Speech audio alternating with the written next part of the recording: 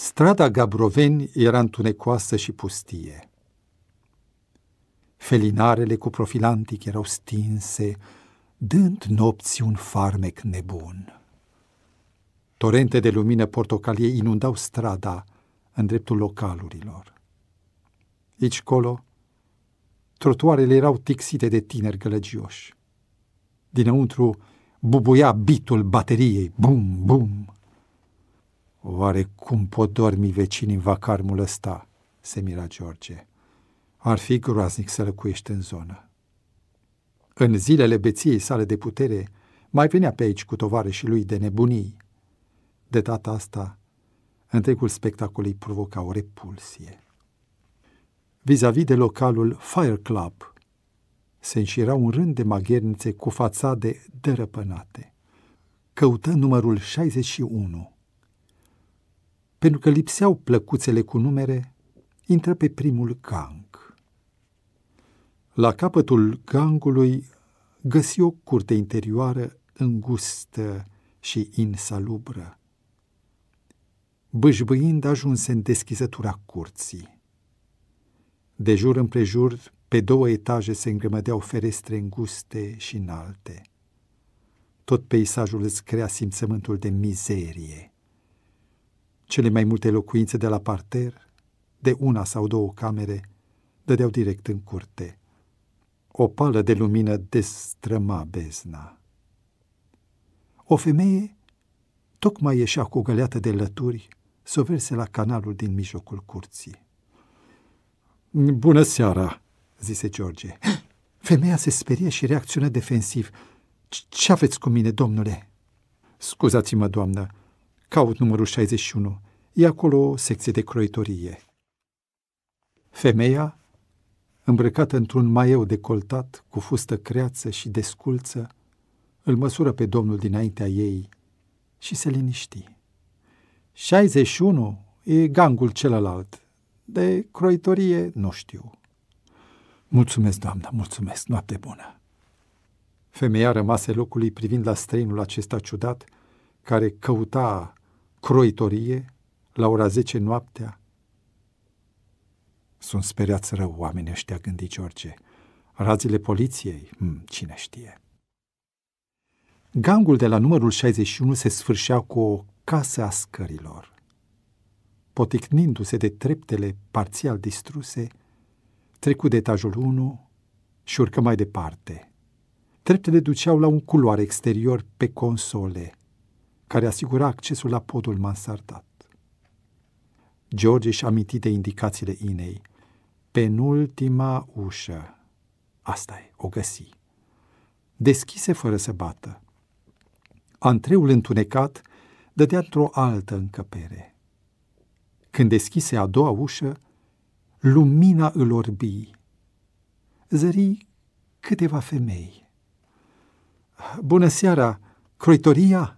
Întrebă el conform instrucțiunilor. Pe cine căutați?" îl abordă o femeie. Caut pe domnul Costin. Femeia între două vârste, cu aspect de gospodină cu șorț, îl cercetă cu îndrăzneală. Sunteți George?" Da, eu." Tensiunea se destinse. Luați loc acolo și arătă un scaun lângă o masă mare. Domnul Costin vine îndată. Camera, deși mansardată, era înaltă. Avea o singură fereastră îngustă, la ora aceea camuflată bine cu o pânză neagră groasă. Pe jos erau saci cu haine. Erau și cutii cu alimente pentru necăjiții din biserică, gândea George. Două femei călcau niște articole de lenjerie și îmbrăcăminte. În liniște, femeile lucrau de zor și vorbeau pe tonuri joase. Unele umpleau saci goi de plastic sau de rafie cu diferite articole. Pe George îl ignorau ca și când n-ar fi fost acolo. Cum o să discutăm teme biblice în furnicarul ăsta? se întrebă George. După o vreme, ușa se deschise. Lui George nu-i venea să creadă. Ina! Ea l văzu și alergă spre el. Domnul George! El vrut să se scoale. Mai iute, Ina sări și i se așeză în poală. El o cuprinse în brațe. Deodată, zâmbetul îi se preschimbă într-o față de procuror. Ina, zise George autoritar, încât fata aproape îngheță. De azi, să nu te mai aud când spui, domnule. Cu nenea Costin te tutuiești. Dacă suntem prieteni, atunci zimi, unchiule. Dacă nu, stricăm prietenia. Fetița izbucni în râs. O, oh, cât de mult o distra jocul rolurilor. Unchiule, unchiule. Până să întrebe ce și cum, pe ușă intră și Ana, cu două sacoșe mari și grele. Când îl zări, ea îi zâmbia salut, după care își întoarse ochii spre ceata de femei. Să fi fost zece femei între 20 și 45 de ani. Ăsta o fi un centru de întrajutorare, gândi George. Atent, îi ieși în întâmpinare și îi luă sacoșele. Erau grele. Mulțumesc, puneți-le pe masă, spuse Ana. Și ea a început să scoată din ele broșuri. George citi titlul Semnul lui Dumnezeu sau Semnul lui Anticrist. Calupurile erau legate cu benzi de hârtie. Jenat că nu face nimic, George a început și el să scoată teancurile de pliante din cealaltă sacoșă. Pliantele erau foi mici cu informații de bază despre Dumnezeu și voia lui. Pe o față era o introducere cu diferite texte biblice din Evanghelii, iar pe versul erau tablele legii cu cele zece porunci. Atunci își aminti de manifestele de pe calea victoriei. Ce faceți cu ele?" întrebă George îngrijorat. O, le trimitem la frați, iar ei le împart personal celor pe care îi cunosc. Hmm, misiune cu risc, gândi George. Cu ce aș mai putea să ajut? întrebă el. Ați putea să le băgați între haine din saci, câte două calupuri de broșuri și trei calupuri de pliante. Nu trebuie să fie la vedere, spuse Ana. Animat de bucuria de a fi de folos, George se puse pe treabă. Costin întârzia. Cu atât mai bine, își zise el. În zece minute terminară treaba. Sacii, vreo 12, erau umpluți și legați bine la gură. În sfârșit, în ușă, apărut și Costin. Îi salută pe cei prezenți, apoi se adresă conducătoarei grupului, în jurul căreia se strânseră celelalte femei. Vorbi cu ele două-trei minute și le distribui câte un bilet cu adresă. Când isprăvi, fiecare femeie își alese sacul și biletul. Urmau să plece discret, câte una, cu sacul în spinare, spre destinație. George privea uimit la curajul și dăruirea acestor femei. La ora asta, fiecare ar fi putut foarte bine să se plimbe pe corso în rochie de seară. Ana, însoțită de Ina, avea un sac cam măricel. Singure? Întrebă George pe Costin. Să străbată Bucureștiul noaptea cu un sac în spate? O, nu, răspunse Costin. Sarcina lor este doar să iasă până în bulevard. Femeile nu bat la ochi. Acolo le așteaptă cineva. Sau iau un taxi. Și Ana? Ea știe drumul, spuse Costin. George prinse oportunitatea. Tot e în drumul meu. Iau un taxi și rezolv eu. fă plăcerea. Ești sigur? îl întrebă Costin. George schiță din cap cu un gest hotărât. Atunci Costin se întoarse spre ea. Ana. Femeia veni lângă ei. Uite, luați voi loc aici. George dorește să vă ajute cu transportul. Cam într-o jumătate de oră, presupun, o să parcurgem un mic studiu. Puteți să mai așteptați puțin? Da, se grăbi Ina luând-o înaintea mamei. Nu sobosită, am dormit după amiază. Ana clipi de câteva ori și dădu din cap afirmativ. Chipul îi se îmbujorase ușor. Costin scoase din geantă Biblia și câteva foi și se întoarse spre George. Uite, George, am adus ce ți-am promis. George apucă foile și trecu cu privirea peste titlul Dumnezeul Vechiului Testament este Dumnezeul Noului Testament. Uite aici, George, găsești o culegere de texte care îl pune pe Dumnezeu în adevărata lumină. Importantă e concluzia, și anume că în ambele testamente vei descoperi același Dumnezeu. Acasă le vei citi pe toate. Acum vreau să-ți dau doar câteva texte cele mai semnificative. Pot citi eu, unchiule?" întrebă Ina. Ei, lasă-l pe unchiul George. Citește, te rog, Exodul, capitolul 34, versetele 5 până la 7. Dar citește-le atent și spune-mi ce observi. George își deschise Biblia și citi cu glas puternic. Domnul s-a coborât într-un nor și a rostit numele lui. Auzind cuvintele Scripturii, Ana luă loc pe un scaun în fața lui George. Atentă, urmărea cuvintele lui. Și Domnul a trecut pe dinaintea lui și a strigat, Domnul Dumnezeu este un Dumnezeu plin de îndurare și milostiv, încet la mânie, plin de bunătate și credincioșie, care își ține dragostea până în mii de neamuri de oameni, iartă fără de legea, răzvrătirea și păcatul, dar nu socotește pe cel vinovat drept nevinovat și pedepsește fără de legea părinților în copii și în copiii copilor lor până al treilea și al patrulea neam. Neașteptată revelație, zise George. Dumnezeul din Exodul e plin de bunătate, de dragoste. E chiar Dumnezeul lui Isus Hristos. Pentru cine, George? îl întrerupse Costin. Păi, pentru cei ce-l iubesc. Costin zâmbi, satisfăcut de surpriza ce va urma. Nu, George, nu scrie așa, citește acolo. Uh, George citi, apoi ridică ochii.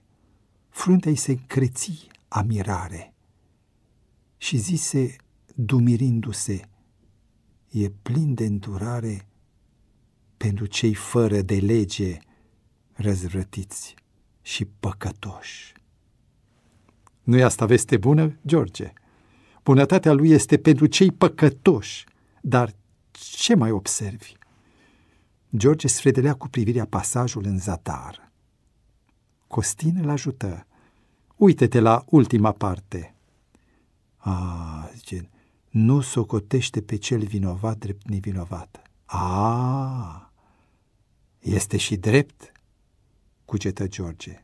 Deci, conchise Costin, vezi tu că bunătatea și dreptatea merg împreună? Acum, hai, câteva texte din Noul Testament.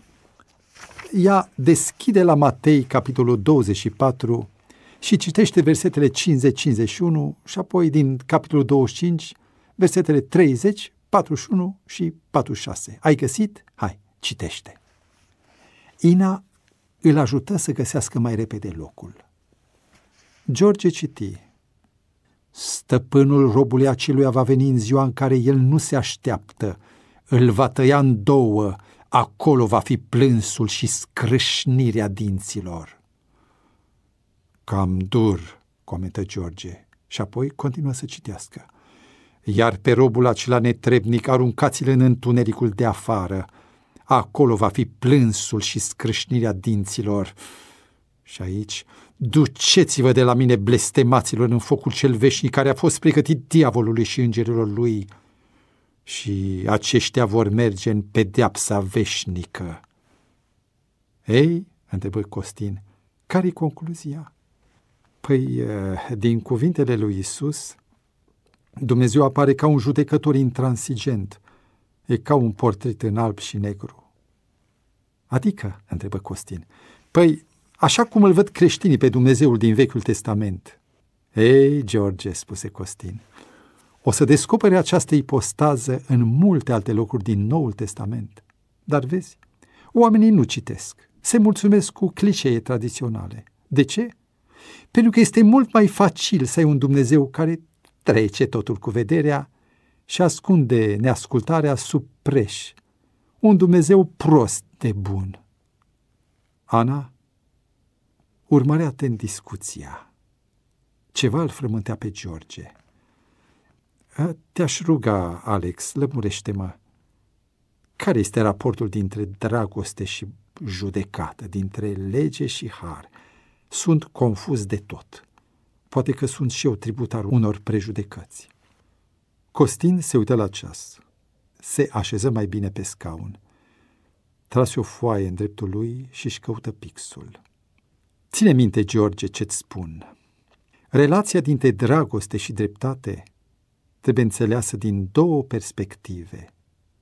Odată, din punctul de vedere al păcătosului, apoi, din unghiul celui iertat și mântuit. George îi sorbea vorbele. Are o gândire solidă, își spunea, parcă citește din carte. Din perspectiva celui ce o calcă, legea pronunță condamnarea acestuia punându-l sub o sândă dureroasă. Condiția omului corespunde expresiei biblice a fi sub lege. Păcătosul, sub loviturile conștiinței, caută disperat scăpare și nu găsește decât la cruce. O sânda lege este chiar forța care ne mână la Hristos. Așa cum scrie în Galaten 3 cu 24, legea ne-a fost îndrumător spre Hristos. Mm, da, Alex, spuse George. Dacă n-ar fi existat pușcăria pentru mine, nu l-aș fi găsit pe Hristos. Și fără el, ah, aș fi nebunit acolo după gratii. Slavă Domnului, șopti Ana. George îi căută privirea. Ochii ei priveau în jos. Și acum, spuse Alex, să luăm cealaltă perspectivă. Dacă pentru păcătos legea dezvăluie o sânda judecății, pentru cel mântuit prin har, legea devine standardul neprihănirii sau dreptatea. Și ce este dreptatea? Hmm. Este norma tradusă în faptă. Să-ți dau o pildă. Ina își îndinsese gâtul abia aștepta o povestire. Își puse coatele pe masă și capul pe mâini. Ă, să zicem că la ușa mea vine un vagabond, spuse Alex. Eu îl primesc în casă, îi dau să mănânce, îl culc, îi las totul pe mână. În scurt timp, el află unde țin banii, unde sunt cardurile, lucrurile de preț. Să admitem că ar avea toate condițiile să fure tot să dispară fără urmă și să admitem că nu-l va putea găsi nimeni. Ce l-ar determina să nu fure? Care e motivația lui? După o clipă de gândire, George spuse, în general, frica de consecințe, pușcăria. Fii atent, zise Alex. Spuneam că ar dispărea fără urmă. Ce altă motivație l-ar păstra cinstit? Hai, spune tu, Ina, de ce nu mai fura tu dacă ai putea? Cina privi, zâmbind spre Alex și zise, că te iubesc, unchiule. Bravo, Ina!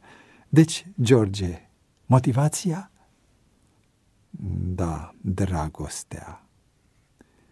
Costin zâmbi satisfăcut. Ei, acum deschide epistola către Roman, capitolul 13 și citește versetul 10. Hai! Ina îl ajută să găsească și citi ea cu vocea subțire. Dragostea este împlinirea legii. Observ, George. Cel nelegiuit vede legea din unghiul consecințelor, o sânda. Cel mântuit îi vede însă conținutul, dragostea. Și acum, fii atent. Costin luă o pauză pentru a sublinia importanța descoperirii. luă hârtia și scrise două maxime sub forma unor silogisme. Dumnezeu egal dragoste. 1 Ioan 4 cu 8. Rândul 2. Legea egal expresia naturii lui divine. Deci, rândul 3, legea egal dragoste. Roman 13 cu 10. Costin trase o linie și începu un nou silogism. Hristos egal adevărul. Ioan 14 cu 6. Legea este expresia naturii divine. Deci, rândul al treilea, legea egal adevărul. Psalmul 119 cu versetele 142 și 145. Ei, ce zici de asta? îl provocă Costin. George nu spunea nimic. Fața lui exprima satisfacție. Ține minte, George, dragostea și dreptatea se suprapun. Sunt unul și același lucru, doar că în două ipostaze diferite. Dragostea este fața lăuntrică nevăzută, iar dreptatea este expresia exterioară văzută. Dreptatea nu este altceva decât, a, decât, Costin mări suspansul, decât dragostea în acțiune. Acum, deschide la cele zece porunci. Încurcat, George îi împinse Biblia sa Inei. Într-o secundă, mânuțele ei deschiseră la Exod 20. George citi pasajul pe tăcute. Zi, George, când nu vei avea alți Dumnezei? Hmm, când îl vei iubi pe Dumnezeu din toată inima, răspunse el liniștit. Dar când nu-ți vei face chip cioplit, George? Păi, când îl vei iubi din toată inima. În fine, ajunseră la porunca patra. Când vei sfinți ziua șaptea, sabatul? Hmm, George zâmbea. Evident, răspunsul era același. Când îl vei iubi din toată inima. Și tot așa a ținut-o până la porunca zecea. Ca încununare, Costin deschise la Evanghelia după Matei, capitolul 22, cu versetele 37 la 40. Împinse Biblia Anei. Glasul ei se înălță liniștit. Isus i-a răspuns să iubești pe Domnul Dumnezeul tău cu toată inima ta, cu tot sufletul tău și cu tot cugetul tău. Aceasta este cea din tâi și cea mai mare poruncă, iar a doua asemenea ei este să iubești pe aproapele tău ca pe tine însuți. În aceste două porunci se cuprinde toată legea și prorocii. Costin ridică fruntea. Înțelegi, George? Esența legii este dragostea, că scrie în aceste două porunci se cuprinde toată legea. În originalul grecesc scrie și mai clar, citez, de aceste două porunci depinde sau atârnă toată legea.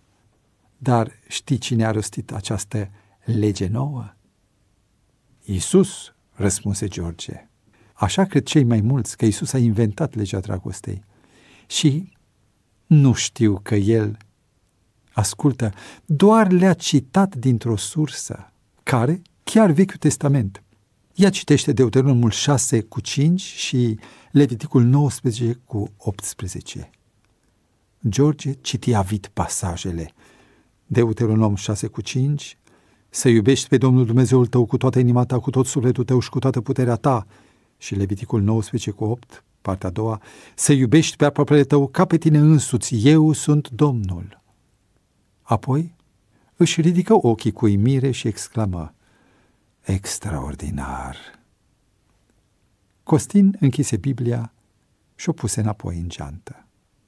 George, toți cei care aruncă cu pietre în lege nu știu ce fac. Habar n-au că bat jocoresc pe Dumnezeul lui Isus Hristos, pe Dumnezeul și dătătorul legii. Habar n-au că fac lucrarea blestemată a lui Anticrist, a diavolului. Fața lui George radia. Costin se ridică. Acum trebuie să plecăm, este târziu. De data asta iese oprimul. Voi mai zăboviți puțin. Ana, ai cheia? Da, frate. Atunci, cu bine. George se ridică și el, Costin îi întinse mâna, dar George, după o scurtă ezitare, îi cuprinse umerii cu brațele. Mulțumesc, Alex. Costin ieși grăbit. În jurul mesei rămăseseră doar ei trei. Erau tot acolo în croitoria de la mansardă. Ina era chiar lângă George. Îl ținea de braț. Ana sparse tăcerea și stânjeniala. Vă mulțumesc, domnule George, pentru tratația Inei și pentru trandafiri. Mi-a povestit de escapada ei. I-ați produs un eveniment rar. George prinse curaj. Oh, sper să fie doar primul dintr-un șir lung. Ana întoarse capul. Zâmbetul îi se voală. Refuza să-i dea încurajări în direcția visurilor nerostite. Doamna Ana, mirată, Ana privi spre el. Chipul ei trăda o undă de emoție. Mi-ar face plăcere să-mi puteți da un răspuns, cât de mic.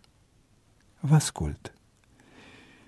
Știți, am pe suflet o dorință și nu știu cum să procedez. N-aș vrea să o fac din capul meu. Sfătuiți-mă. Aș vrea și nu știu cum să vă ajut. Ochii lui George rămăseseră pironiți asupra chipului ei. Femeia se îmbujură, dar își păstră stăpânirea de sine.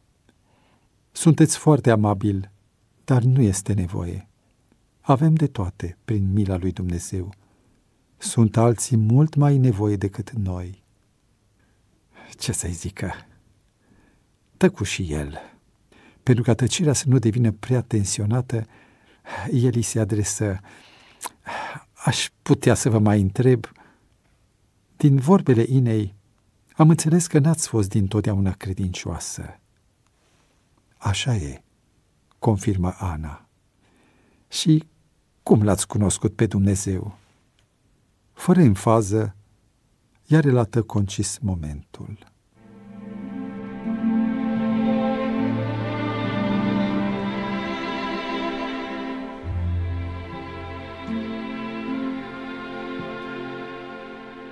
Când am aflat că soțul meu a decis să ne abandoneze, m-a cuprins disperarea. Îmi pierdusem somnul. Toată noaptea stăteam cu ochii pironiți în tavan, plină de spaimă. Credeam că îmi pierd mințile. Mama unei eleve mi-a vorbit despre Dumnezeu ca tatăl orfanilor și apărătorul văduvelor. Mi-a dat o Biblie și mi-a zis să o citesc. Mi-amintesc am citit Biblia în 28 de zile. Așa m-a găsit Dumnezeu. El m-a ridicat. Treptat, teama mea s-a risipit.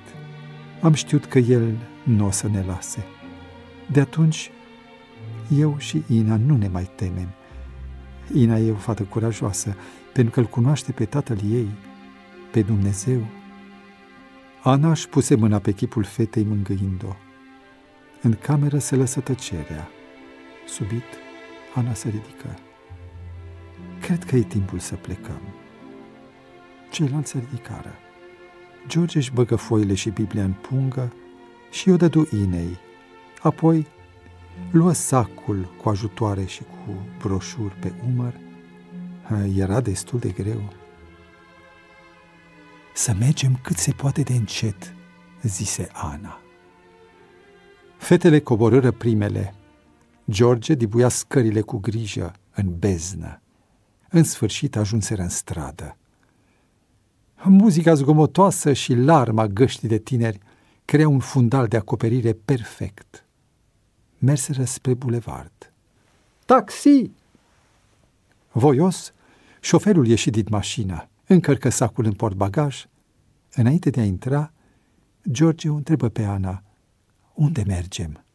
Deocamdată acasă la noi, spuse ea. În zece minute au ajuns.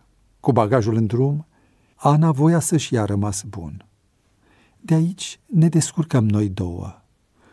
Nu se poate, lăsați-mă să-mi duc misiunea până la capăt, spuse George. Și, fără să aștepte un răspuns, George înși făcă sacul și porni spre demisolul lor. Ajuns în fața ușii, se pregăti să se retragă. Vă mulțumesc frumos, spuse Ana. M-ați ajutat mult. Dar George zăbovea în dreptul ușii. Aștepta ceva? Ea îi întinse mâna. El i-o apucă și șopti. Vă apreciez mult. Și ieși. Ea nu răspunse în niciun fel. Când George dispărut din vedere, Ina zise mamei, Îmi place de unchiul George. Ana, în aceeași poziție lângă ușă, murmură, Domnul să se îndure de el. George ajunse în apartament fără niciun incident. Fostului socru, Augustin Pop, dormea. Iar Mihai, fiul său vitreg, nu venise încă din tură. Pe masa din bucătărie zări un bilet. Te-a căutat cu scrul Iosif. M-a rugat să-l suni. Fruntea lui George se întunecă. E târziu acum, mâine. Strânse biletul în pumn și l-aruncă la coș. Culcat, cu ochii în tavan, părea că somnul le locolește. Ana a suferit mult, e puternică, îl cunoaște pe Dumnezeu. Emană atâta siguranță, ah, am nevoie de ajutor, de siguranță. Doamne, Tu știi și închise ochii. O șuviță de lumină se prelinse pe lângă tâmple. Pe geamul deschis răzbăteau chemările nopții, ecoul chemărilor lui.